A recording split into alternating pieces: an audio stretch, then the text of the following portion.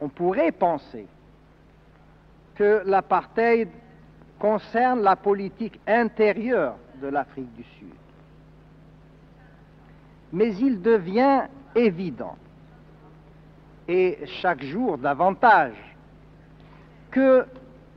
la nécessité de se protéger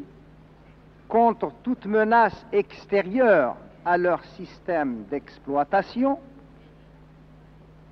a naturellement conduit les dirigeants racistes de Pretoria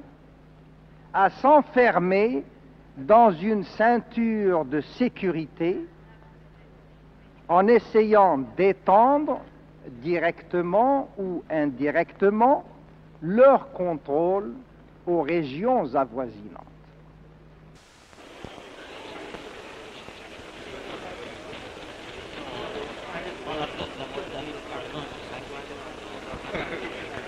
Nous espérons que le Conseil de sécurité nous rendra cette justice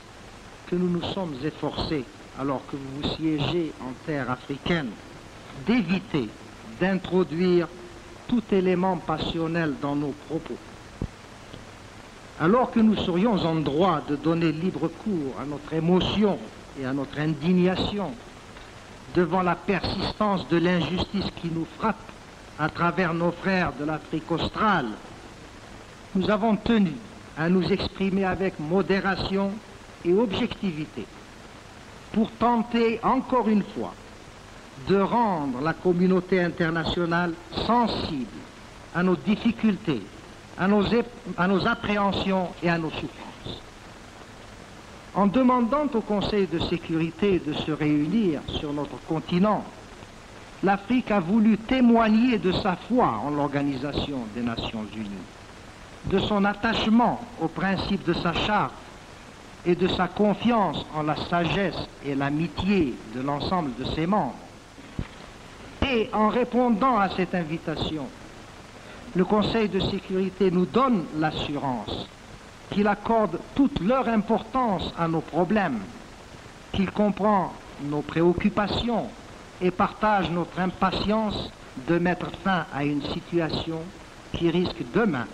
de compromettre la sécurité internationale.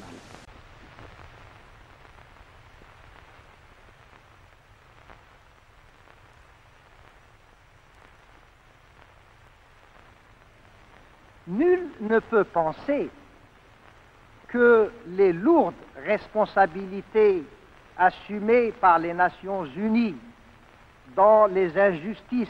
commises à l'égard des Palestiniens résultent d'une malveillance caractérisée ou d'une mauvaise foi inadmissible. Les dispositions mêmes incluses dans le plan de partage de la Palestine indiquent une certaine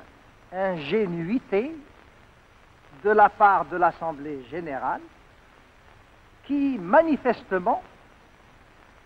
n'était pas très informé des objectifs et des intentions des dirigeants sionistes. En effet, l'État juif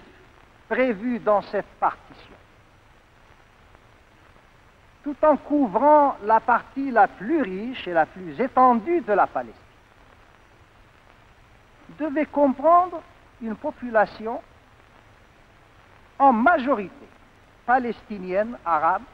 musulmane et chrétienne.